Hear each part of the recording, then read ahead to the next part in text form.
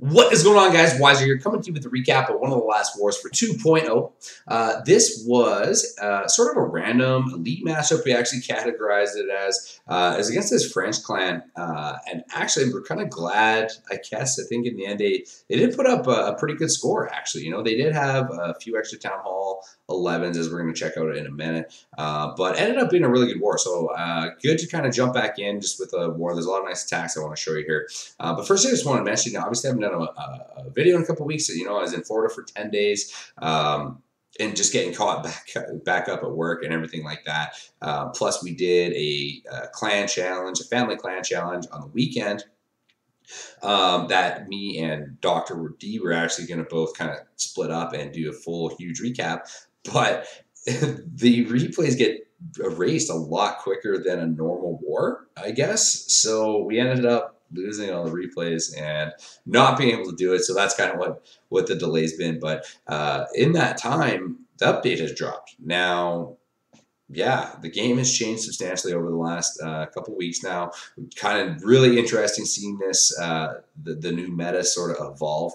Um, Katic, I, I want to say Katic and I will be getting together doing a full discussion breakdown on what, what our feelings are and how, how it's affected base building, certain at all the different town hall levels, um, and, and just go into the full detailed discussion we usually do. So we'll get into that in another video, but I just did want to mention a lot of these attacks are now post update, so uh, it's good to see some of these. Let's go jump in and check out what happened. 74-71 was the victory for 2.0. Uh, so this clan was Ask Force. So like I said, you know, they gave it their all 60 60 attack 74 71 very respectable um, again, I can't read French, but uh, I gotta say, you know, these guys, these guys gave it their all. Definitely deserve some props. So shout out to Ask Force, uh, very good war gentleman. Uh, but we, as you can see as well, didn't have uh, uh, the best of wars. Like I said, they were down in number nine there on their town hall um, 11th. So, you know, box paces like this all the way down to number nine when we only have six town hall 11s. That's going to soak up a lot of our town hall 11 attacks. And that's kind of just ended up what happening. Uh, at the same time, Nines did do their diligence and cleared all the way down, gave the 10s all the shots we could. There are a couple 10 versus 10 triples, but we're going to start, start down at the bottom here. Uh, number 29, Ryan going in. Good old open alleyway base. Um, Ryan just brings a stone goho with, with bowlers, right? A stone go hobo. And just gets big value on the golems. Uh, very boxy style base is going to get the golems rate all the meat up sort of in this core and get just tanking from all directions. Really just leaving the queen chamber to uh, to be taken care of after the kill squad does their job here. So king, queen, bowlers are in. One golem does walk over to that uh, mortar, but still does some pretty good tanking. I guess few point defense. Got the expo on them this whole time. So these golems are free to walk in untouched. So everything now turns to them. King's going to move on in and help out though. Queen is in there behind. Bowler's in there now. out comes a clan castle and down go the poisons. Heal spell to help out that king. It's gonna have to hit that king ability here in one second. Any second. Hit it, hit it, hit it. Oh, there it goes. Uh, so Queen, Queen, and the bowler sort of doing mop up work behind this king. Still doing tanking. Still has a golem in there. Still, you know, with 50% health. It starts sort of sprinkling in these hogs now from three o'clock. taking care of these point defense that got missed on the entry both sides down again at 6 o'clock as well. Doesn't quite work through that Tesla. So it goes ahead and sends good chunk of his hogs now. There's a two Teslas and a Wizard Tower here that they're going to rip through very, very quickly. Doesn't need heals for them whatsoever. and hogs are just doing their work. Now, that was one major change. Um, isn't necessarily to hogs themselves, but uh, the double, uh, giant bombs no longer do extra damage against them. So literally, if you have a heal spell down, they can run right over a DGB, a perfectly placed DGB, and survive. So that is that is a huge thing people are talking about at the town hall nine level. That does have a big effect on it. Obviously, um, I'm not going to deny that whatsoever. I mean, there are definitely going to be some hog raids now that you'll see that normally would not uh, have worked uh, work. So uh, with that being said, there are, uh, are some base changing uh, base changes we're going to see uh, to sort of the the new meta. I think people are going to go absolutely hog crazy and make these sort of um, single bomb like four single anti hog base. Um, so we'll, we'll kind of see how that pans out. Cat and I'll have a little more uh, in-depth discussion on that matter for sure. Tree in the bag for Ryan. Nice job, buddy.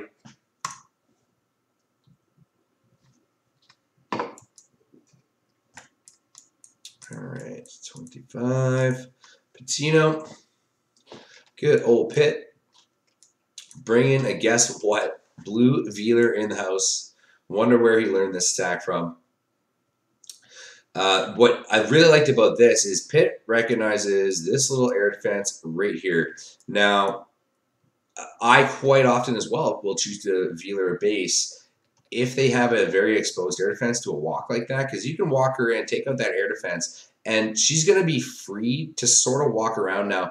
Um, the the idea though is the healers are not going to get targeted by anything once this air defense goes down. She ends up getting a few Teslas on the way. She's going to walk up to the 12 o'clock section, and he's dropped the bowlers on the other side to create the funnel. Lets the Valkyries in, the King in. Queen is going to join up as well in a second. Look how quickly the Val shred through that Lego wall. So everything just got funneled right towards this clan castle, right? It's going to have to get the poison down, the heal down. Everything's in there. Rage is down, blasting everything through that stuff. Clan Castle is dead. Just got to work towards that queen now. Heal spell over the core, keeping all those Valkyries alive. Even the healers get in on the action. They're still raged up too, so those Valkyries are just gonna keep going.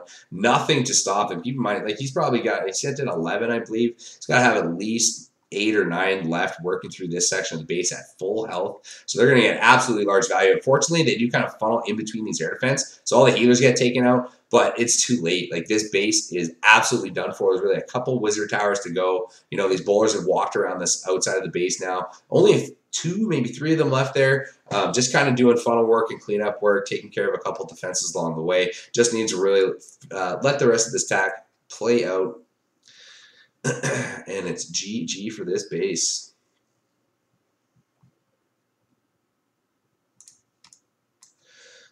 Bam. It's job Pitt. I know this attack was dedicated to me. I know it. so, moving up, we're going to number 23. Limey going in. So, Lime's bringing the air attack. I love this guy. Lime is just, we just go back and forth at the friendly challenges all night long. It's just awesome. Um, this guy has a very, very uh, diverse skill set. We'll just say he can. Uh, he, he, just picks the base and picks the best attack for the base, and he can execute it just like a champ. So he goes in, goes decides to go with the uh, Bolt Lalo here. Uh, he's going to go ahead and jump in between the air defenses. See how he just recognizes this, just the old school way, right? He's going to because he's going to get this huge push with the bowlers under the rage there. He's going to be able to take out the clan castle, defensive queen, two air defenses huge, huge portion, right? Uses uh, another rage, I think that was, and a heal. Just burns every single spell on that kill squad and those bowlers. And gets a third air defense out of the deal. It's going to get another expo, I believe. Look at this air defense with a sliver of health. He almost get all four air defense with um, with the kill squad there. So finally, he's like, okay, I guess I'll send in these two lava hounds. They go in, they're gonna kill this air defense all on their own, right? He sends in the balloons down. This Tesla farm gives him a little bit of panic. I think he, he must have been like, come on, there's no way. Um, I, I might have. I don't know. You, you needed a haste spell there. I'm not sure, Limey, if you knew that those Teslas were there or not. But without a haste spell, you kind of had to know that was going to happen. It doesn't really matter though because finally everything works on over, takes care of the expo. There's just far too many balloons for those Teslas to handle. Got cleanup all over the base. Queen at the full health and it hits the ability just now. Bam, bam, bam. Very sexy, my friends. Tree in the bag for lime.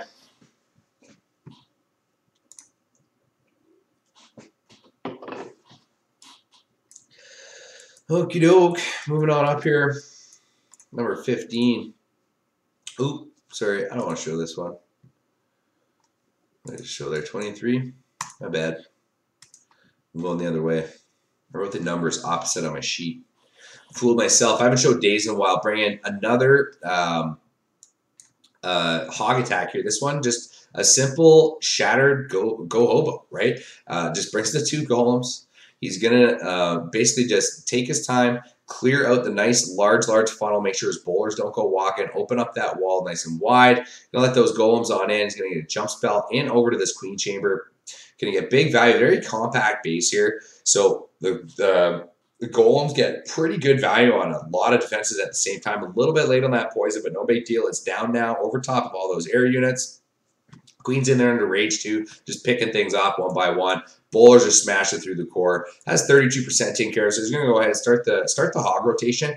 Um, very compact base. These compartments, there is zero chance whatsoever of there being any sort of deadly traps. So because of the Wiz Tower, obviously because of all the skeletons, he's got a heal there, but they're going to work through that huge pack of hogs. Is going to work through this section un scathed at all. Uh, so he goes ahead and sends in a bunch more. Um, still has nine in the bag though at this point. I think he brought 25 hogs. Was only a shattered right with bowlers. So finally that uh, last heal spell goes down. Uh, his kill squad is all dead, but too many hogs. Like they are all alive. He's, I'm pretty sure there's 25 hogs. Maybe he did lose a couple to spring traps, but look at this pack of hogs that is alive. They're going to spread out here in one moment. Just has so many of them. Very, very nice stack. Boom. Couple for cleanup. Wizards all over. Just smashed it.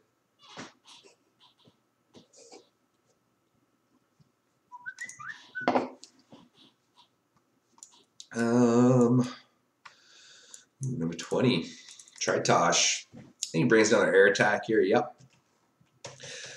oh, yeah, this I want to show this base. First of all, because this guy was a Town Hall 10, quote unquote, must have just went up to Town Hall 9. He's got those new walls. Um, I just thought it was interesting. He had these walls, has purple walls. I don't know. I just don't understand some people's um, expense of, of resources, I guess. It just baffles me sometimes. But anyhow, this is like a Batwing base almost. That's what I saw when I saw this. I'm like, I just didn't understand – what the guy was thinking exactly. Toss picks this apart. Same idea. It's just going to get really nice. Look at this huge funnel he gets on the outside here. Clan Castle's all stand all under poison there. They're going to go down very, very quickly. All those balloons are going to fall all at once. Down they go. Bam, bam, bam. She's going to go ahead, walk in, get that air defense on the way, jump into this. He has access to the queen because this section is not connected for some reason. Uh, Rage spell goes down, letting everything go in here now. Goes in and hits that king ability while he's on that queen. Gonna smash through this core.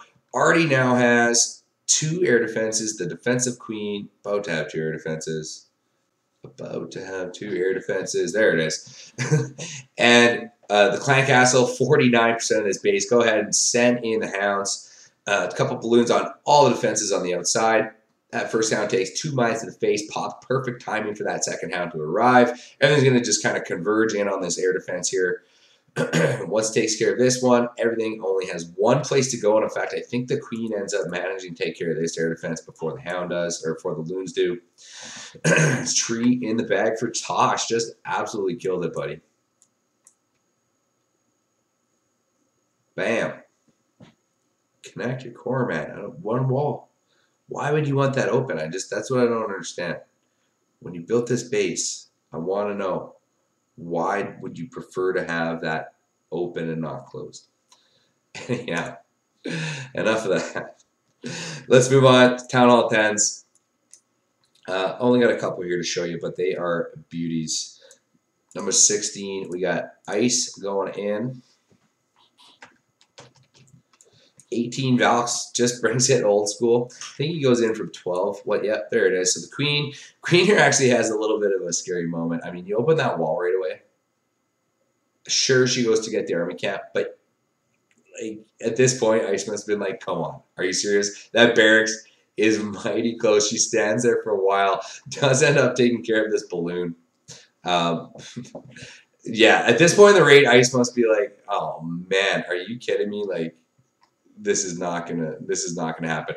But he ends up just being resilient here, drops that second poison absolutely perfectly. Queen locks onto the baby drag, walks on over to the wizard. Sort of like weird pathing too. Look how close that was too. The wizard shot got off on the ears. Ice is like shedding his pants at this point. He's like, all right, the queen's in, clan castle's out. Let's get these Valks in. Goes ahead and drops them in from the one o'clock king in to back things up. Has so many Valks that's just going to walk into these very, very large compartments. Nice little jump at that juncture. They're going to kind of let the Valkyries in on down through all this jazz.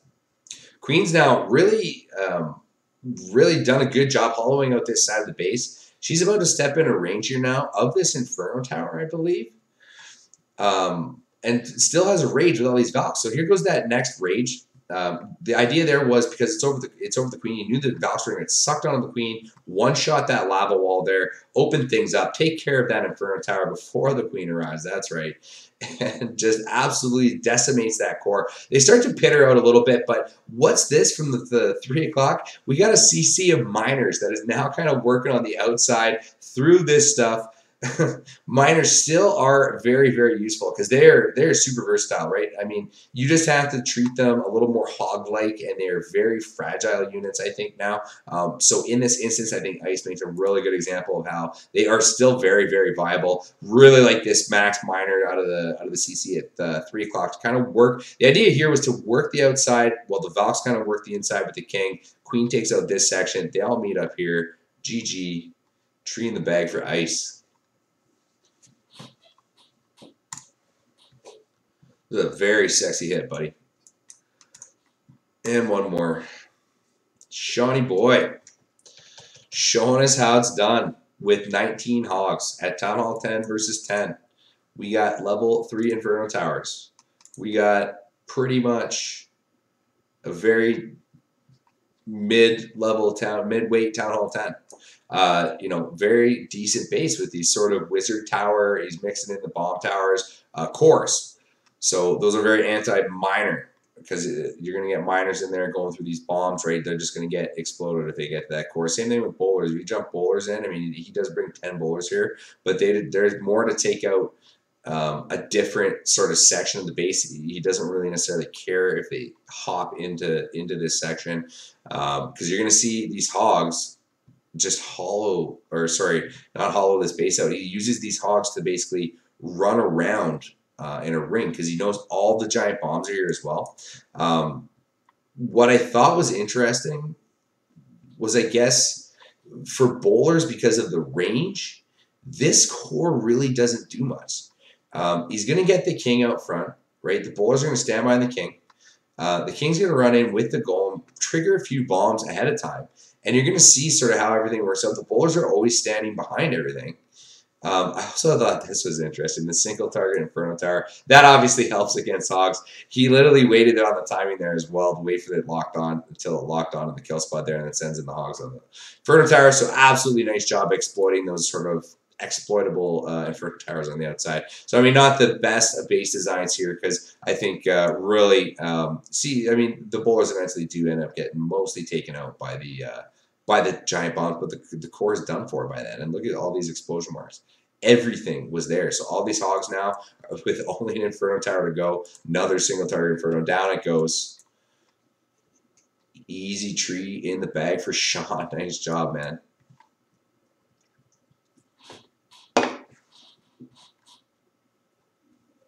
Just a little too exaggerated. All right, so good to get a video out again. Um, again, you know, apologize, but obviously everyone needs time off. I, uh, I had an awesome time at Disney. Obviously, it was post hurricane, and generally the weather is fantastic post hurricane. Um, and it was, uh, you know, really inland didn't get hit very hard, but definitely my heart goes out to people that live on the coast because from what I saw, it absolutely uh, ravaged uh, kind of in and, and north up along the uh, the eastern coast there. But anyhow, I'm gonna call it a night. Getting late. That'll do it for your wisdom from Wiser. Just trying to help you bag that next tree start. Till then, I'm out.